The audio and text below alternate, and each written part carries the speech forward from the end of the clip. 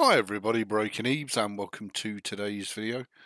Thank you to everybody for your continued support. I've had a request for some uh, virtual boxing information. So today I'm going to start the virtual boxing off. So first of all, I'm using VirtualBox. If you want to use VirtualBox and you are on Zorin OS, just go to your software store. Excuse me and type in VirtualBox and it should come straight up. You'll see that on Zorin OS Lite it is actually an apt package so it's straight out of the Ubuntu repositories. Bring it down and install it. Once it's installed, open it up, run it And the next thing that you need to do is specify where you want the virtual boxes to be stored. Please make sure you have plenty of hard drive or SSD space to do this. Go ahead and create a folder. Once you've done that, click on File, Preferences, and select where you want your virtual boxes to be stored. I've gone for slash MNT boxes slash VB. Yours will be in a different path to that but select the correct path of where you want the virtual boxes stored. Okay, so let's go ahead and create our first virtual box. I'm going to create a Mint 22 virtual box. Uh, it is Linux, it is Ubuntu. Well done, VirtualBox. You got that bit right. The next thing I'm going to do is give it 8 gigabytes of RAM. 4 gigabytes is fine if you've only got 8 gigabytes on your system but bear in mind the less system resources you have, the slower the virtual box is going to run. Okay, next we need to create a physical hard drive. So I'm I always give my virtual boxes 30 gigs. it's your choice. You can give it whatever size you like. There's no right or wrong. Obviously, you need the minimum. I would suggest the minimum is 12 gigs on any OS but some OSs do demand a lot more. Go ahead and create it and there's your VirtualBox.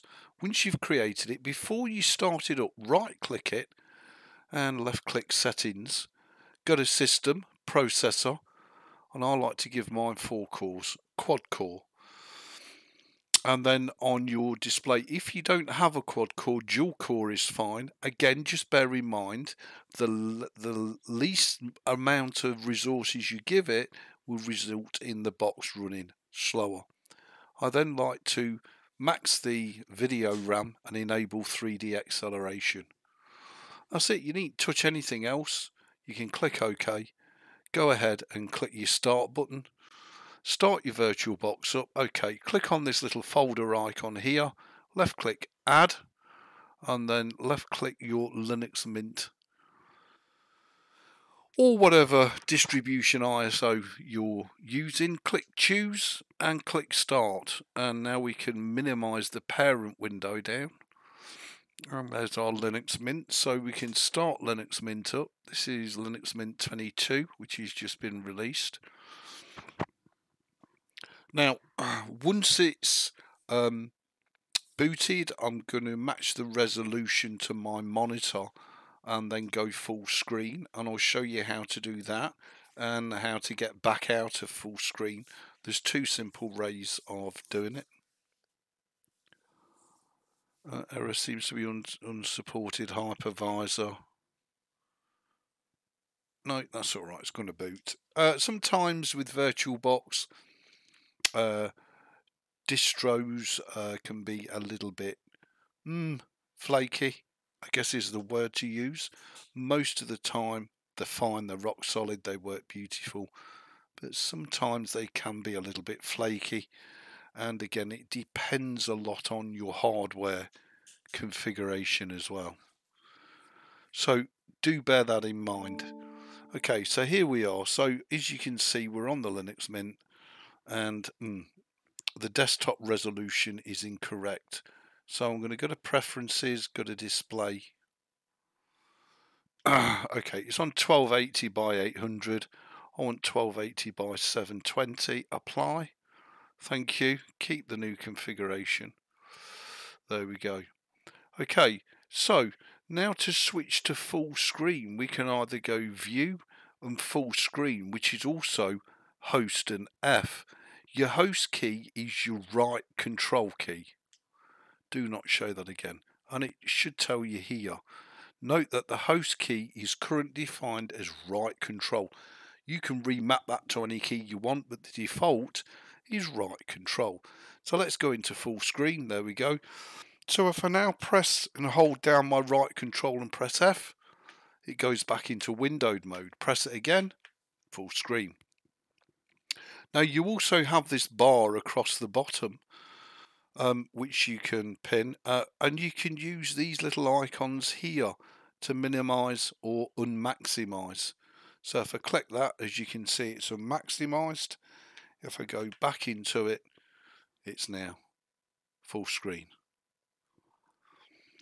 Okay, so I don't know what else I can show you about VirtualBox. That's about it. Uh, you don't need to mess about with any other of the settings. Just make sure that you're giving it enough cores, enough RAM, and enough hard drive space to do the job.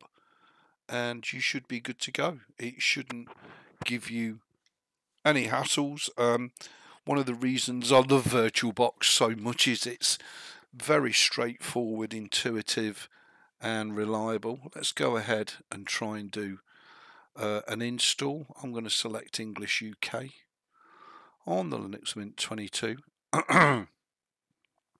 Excuse me. Uh, yeah, I want to install the multimedia codecs. Yes, please. Right off the bat. Continue. Now, bear in mind that because it is a virtual box and it's not bare metal, um, it's not going to give you any idea as to hardware compatibility. It's not going to give you any idea as to the true speed of the system. Uh, and it's certainly not going to give you any idea as to, yep, erase the disk, as to how well games and other applications are going to run on the system. This really is just a way of having a look around an operating system and playing with it. Um, other than that, it's virtually useless. Super secret password, type that in. Uh, log in automatically as it's a virtual box, but it's a great way of running many different operating systems without forever having to um, install operating systems or use a utility like Ventoy or something like that. It's a great way of just loading stuff on really quick, checking it out, and it's also a great way of using Linux safe in the knowledge that if you bust the virtual box completely, well, A, you can make a backup of it before you start, so it's very easy to restore. Uh, and secondly, if you do go and break it, it's a virtual box. It's not real life with all your personal stuff on it and you know all them hours of hard graft and work you've put into your operating system bang it's gone. With a virtual box that's not the case. So virtual box does have some superb uses and as i say it's great for looking around stuff. However if you're going to do distro reviews using VirtualBox, you need to make it crystal clear at the start of your video or live stream that you are using VirtualBox. Um, because, as I say, there'll be a lot of key elements that you will have no clue about, including, as I say, hardware compatibility, speed, um, app compatibility, gaming compatibility. There's a lot of stuff you can't do with VirtualBox. Or, I'm not even going to say you can't do. It's not ideal to do. And a lot of people who watch distro review videos um, I think do prefer it to be on bare metal. So do bear that in mind. Um, but VirtualBox for me is too useful to not be used. So I want to start doing um, a look at various different. Well, there's there's a gazillion distros. I'm never going to run out of distros to uh, slap in a VirtualBox and play with. However, for Linux Mint 22, for argument's sake, running it in a virtual box is great. It allows me to break it and have a play with it and faff around with it. That's fine. But I'm never going to really get a true feel for how it's going to be on my hardware. So as long as you're clear and focused as to the strengths and weaknesses of VirtualBox, you'll be absolutely dandy. Um, if any of you have got any questions on VirtualBoxing, please post them underneath the video. Bear in mind, I am a Linux user. I'm a bit of a noob. Uh, I'm not a guru or an expert. Um, so do feel free um, to post as much information about any questions or issues you may have.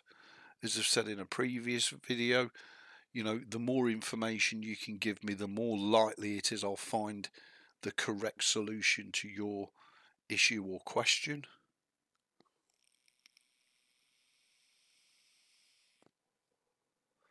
Just let this finish copying the files and then set up. Uh, as I say, it shouldn't take too long. You can run, obviously, other stuff while you're doing this. It doesn't help that actually I'm installing and bringing a game down at the same time. Uh, but fortunately, that's on a different SSD. Um, so please bear that in mind. uh, it could be a bit quicker. Mm,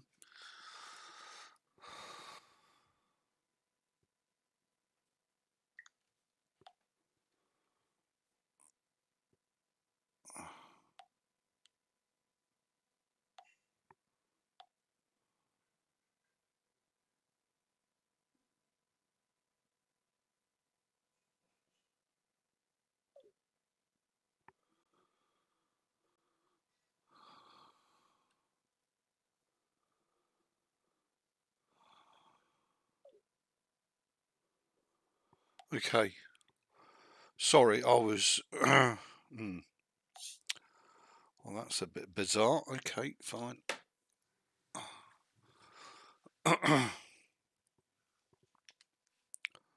uh, so I hope you're going to enjoy this series. Um, I am going to be looking around an awful lot of the distros. I'm just going to go through them um, in no particular order. Um, there'll be kind of two parts uh, to each distribution. There'll be the installation, uh, because there are still installation issues that a lot of people don't know about until they come to install the distro and how to fix it. It also op opens up the opportunity for us to explore some of the more obscure distros um, what do I mean by obscure? I mean the Gentoo Linux from scratch, OpenSUSE, Fedora. In my mind, they're the more obscure. They're not mainstream. They're more. It's not obscure. It's specialist. Specialist is a much better word. So it'll give us the opportunity. excuse me, to really look round some of these distributions uh, and see what they're all about and what's going on under the hood have a look at the package managers, have a look at what software is available for them, etc. So I'm very much looking forward to this. Um, to use VirtualBox's simplicity itself and any PC powerful enough, mine's a 6 core 12 thread with 16 gigs of RAM and three SSDs in, so it's quite easy for me to run basic 8 gigabyte virtual boxes. And it should be the same for you. if you've got more resources than that, then you can give your virtual box more resources and your virtual box will run a lot lot faster. So if you if you've only got 8 gig of RAM for argument's sake and you can you can still quite comfortably do 4 gigabyte virtual boxes just bear in mind it will run pretty slow and that's not a reflection on the distribution but more of a reflection on what hardware you're running. Um, and you may also run into hardware issues as well um, display issues with NVIDIA. Don't forget I'm using AMD Radeon. I do have a an NVIDIA RTX 3050 uh, graphics card here but I've taken it out this PC and put the RX 580 in um, because it's just perfect for all Linux distros as the AMD drivers are baked and built into the kernel. I don't need NVIDIA software settings manager. I don't need NVIDIA profile inspector or anything like that. Only downside with the AMD Radeon cards is the AMD software, to the best of my knowledge, uh, is not available for Linux because both NVIDIA Profile Inspector and uh, the AMD software are built and designed for use with Windows APIs only. It's not that you can't run them on Linux. It's just that the uh, the stuff that those software packages rely on just don't exist in Linux. So there's no point running the software. It's a bit like having a performance tuning piece of software for a jet engine and you're running a diesel. it's just pointless. Uh, that's the, I think that's the only um, downside and deficiency of um, all graphics cards really because they've been kind of built and designed from the ground up to work with Windows. When it comes to port, porting them over to Linux, you can port certain elements of the drivers and uh, you can utilize the hardware to the full. What you can't do is utilize what's not there in the first place. And as I say, with Windows, you've got a lot of Windows APIs that are linked to both the AMD and NVIDIA and you just can't run them on Linux. It's that simple. It's not even an option. It's not that the software won't run, but as I say, the APIs are not physically there for the software to call, so uh, it's pointless. But apart from that, uh, I'm very, very happy. Oh, Farm Simulator 22 is down already. That's amazing. That was another comment that somebody posted.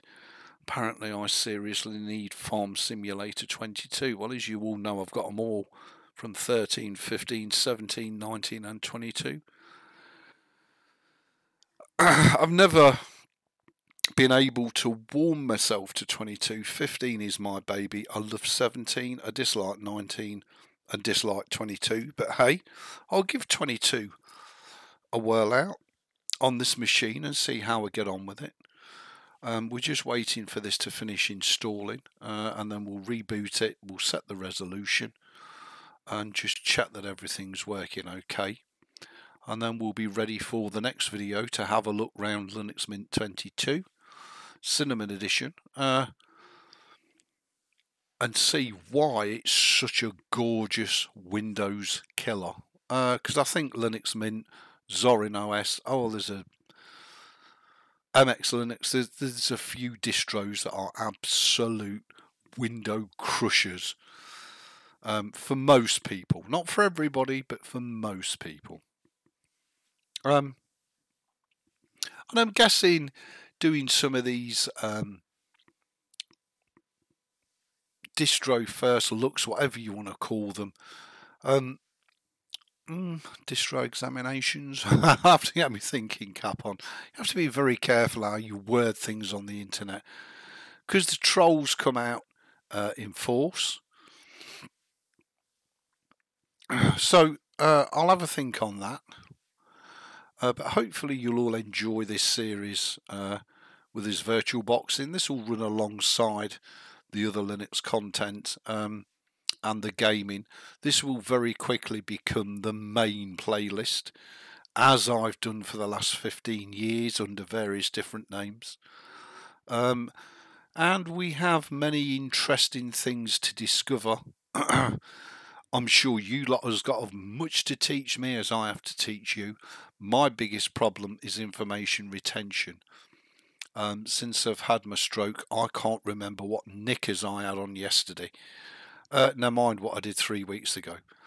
Uh, so I'm going to have to lean on you guys and girls um, to point stuff out and correct me. So if I repeat something or say something completely opposite to what I said last week, do feel free to fill your boots down in the comments. That's what they're there for. Uh, and I'll do my best to answer all of the comments.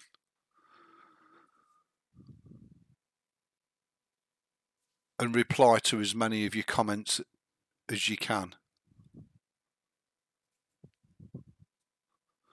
So there you go. So hopefully, as I say, we're now configuring the hardware. Hopefully you'll all enjoy the series and if nothing else, uh, whilst I'm looking around them, uh, you won't have to. and if you see something you like, then it might just be worth your while downloading it, burn it to a USB thumb drive, and boot your PC off the USB thumb drive. And that way, it gives you a chance to check your hardware compatibility. Right, I'll just let this finish installing. I'll be right back.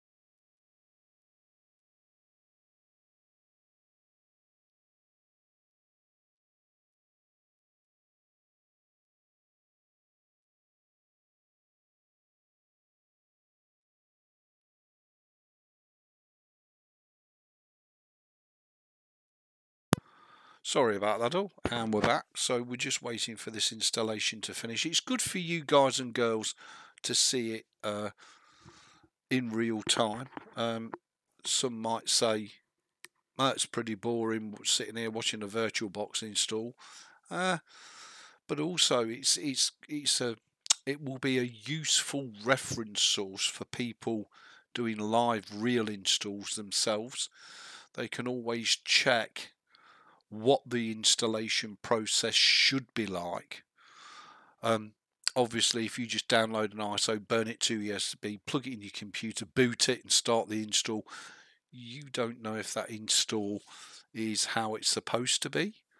Uh, so you could always use these videos as a reference for installing stuff yourself, which is really, really useful, which I've done myself in the past, especially on um, more complex or unique Linux distribution installs where stuff is not what I would call uh, standard. Uh, stuff like Puppy Linux or Gentoo or Linux from scratch or stuff like that, where it's not you know you're not using ubiquity you're not using calamares uh, there is no sudo apt install uh, stuff's a bit different. I'm deliberately leaving arch out of it because arch is becoming more mainstream. Um, it's not i don't personally put arch in the same category anymore as gentoo and linux from scratch whereas arch gentoo and lfs used to be their own little elite category. Mm, not so much these days. Okay, left click the restart now. Let's let the box reboot. Now, it depends on the distro. Some distros will auto remove the CD image, some will not. Some you'll have to remove it yourself. So if we press enter, we'll let it reboot. There it goes. Don't forget I'm only using a cheap Chinese RX 580. Um, I'm not using one of the blue chip brands. It's a, I think it's a Xing Shui, uh, but it's been fantastic, and it's one of the 2048 SP ones as well. Uh, so it's got a kind of, if you like, cut down memory bus on it, uh, which is fine. It really doesn't make that much difference. Um, you know,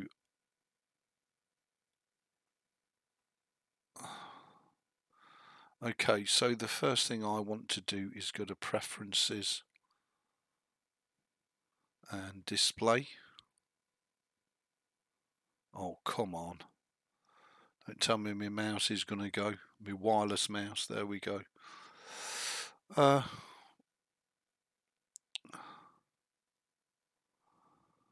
the virtual machine reports guest OS supports mouse pointer integration. Good. Good. Kill him. Kill him now. Uh, I'm going to control an effort. There we go. Uh, and I want to save it as 1280 by 720. Now I'll control F it in full screen so that I can apply. Keep new configuration. It did let go of the mouse pointer, uh, which is a bit bizarre, but anyway. Um, okay, so we've applied that.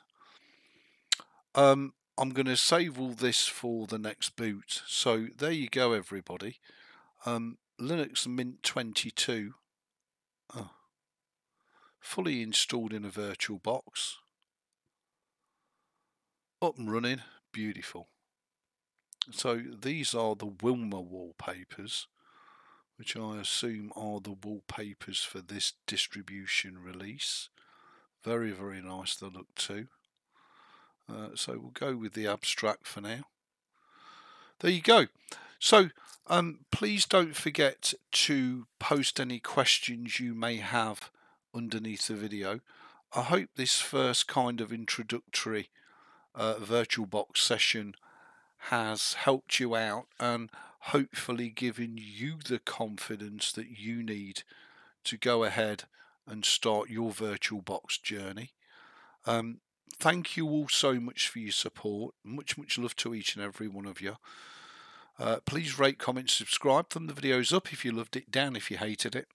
I will see you for another wicked Broken Ebeez video.